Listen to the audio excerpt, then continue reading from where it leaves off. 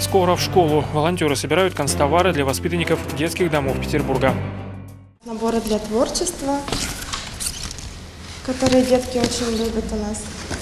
Цветные карандаши. Самым желанным подарком для детей станут, конечно же, яркие наборы для творчества. Также в посылку можно будет добавить краски, цветную бумагу, картон и пластилин.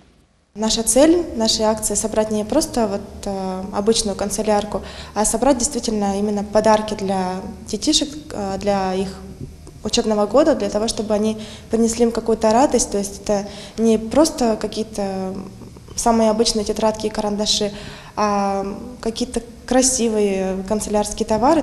Ко Дню знаний все подарки волонтеры благотворительного фонда отвезут в приюты и реабилитационные центры Петербурга и Ленобласти. Организаторы надеются, что с помощью акции удастся собрать в школу 420 детей.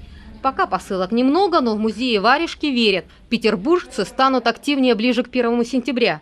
Многие вернутся с дач и из отпусков. Принимать необходимые канцелярские товары в музее на Мойке 87 будут весь август с 11 утра до 19 часов вечера.